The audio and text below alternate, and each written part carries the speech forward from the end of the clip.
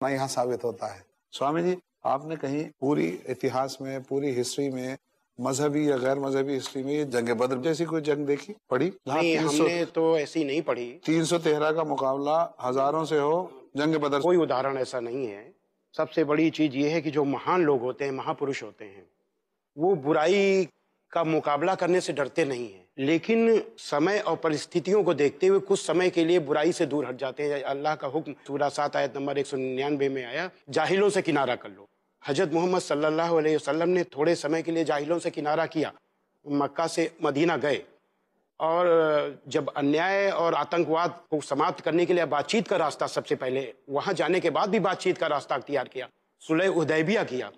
लेकिन सुलह हुदैबिया करने के बाद भी उसको तोड़ा गया। मतलब सारे, हमने बताया कि असत्य, अन्याय और आतंकवाद को समाप्त करने के लिए बातचीत का रास्ता अख्तियार किया जाए और रास्ता भी समाप्त हो जाए बातचीत के सारे रास्ते बंद हो जाएँ तो एक ही रास्ता बचे जंग। तो जंग, वो युद्ध युद्ध नहीं, धर्मयुद्ध होता है।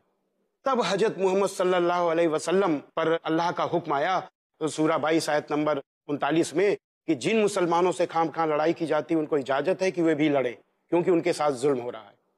तो कुरान मजीद की विशेषता ये है, अल्लाह के हुक्म की विशेषता ये है कि धर्म को देखते हुए उस युद्ध को मर्यादित किया गया। सूरा दो, आयत नंबर 190 में कहा गया कि जो लोग तुमसे लड़ते हैं, तुम भी खुदा की राह में उनसे लड़ो, मगर ज्यादती न करना, कि खुदा ज्यादती करने वालों को नापसंद करता है।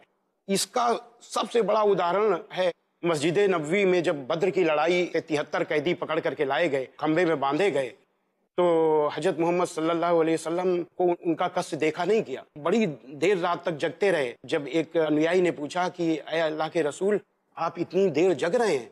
तो आपने फरमाया कि, ये कैदी कष्ट की वजह से नहीं सो सकते तो मैं कैसे सो सकता हूँ? ये इंसानियत का इससे बड़ा उदाहरण कहीं कोई नहीं है। हमने के पैगंबर जी। तो इस तरीके से उस युद्ध को मर्यादित किया। मेरे हिसाब से दुनिया के लोगों को चाहे जिस धर्म का आदमी हो हर इंसान को मेरा संदेश यही है कि हज़रत मोहम्मद सल्लल्लाहु अलैहि वसल्लम का एक एक कदम दुनिया के लिए आदर्श है आइडियल है। अल्लाह।